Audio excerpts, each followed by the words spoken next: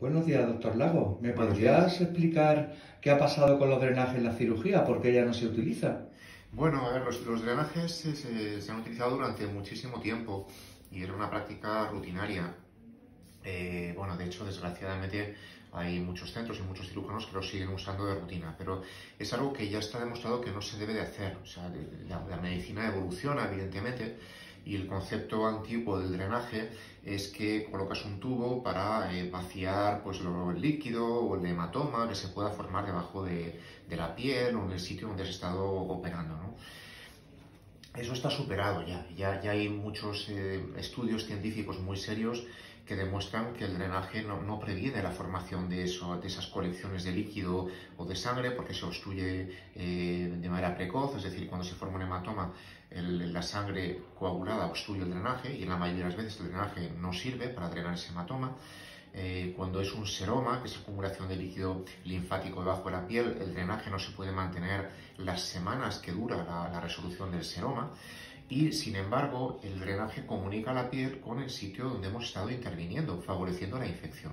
Eso es lo que se ha demostrado en muchas publicaciones ya muy serias sobre este tema, que el drenaje favorece la infección y favorece algunas complicaciones cuando, por ejemplo, se deja en contacto con una unión en el intestino en la cirugía bariátrica, por ejemplo, la obesidad, puede favorecer que el apoyo de ese drenaje produzca una complicación, produzca una apertura de, esos- de esa sutura interna eh, y sin embargo no nos está previniendo eh, la extracción de esos líquidos que supuestamente eh, se encargaría de extraer. Entonces, por eso no se deben de utilizar ya. Pacientes me lo preguntan, oye, ¿no utilizas drenajes? Sí, no. No, ya no se deben de utilizar de rutina. En resumen, perdón, se ha quedado obsoleto, ¿verdad? Exacto, es, es una, es una práctica obsoleta eh, que se ha demostrado que no es eficaz y que además puede aumentar el índice de complicaciones, con lo cual no se debe utilizar de rutina.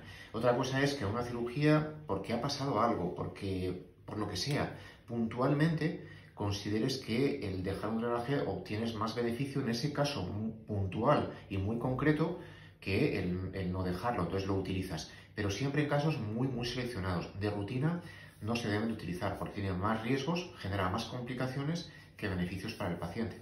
De acuerdo, doctor, muchas gracias. Nada, encantado.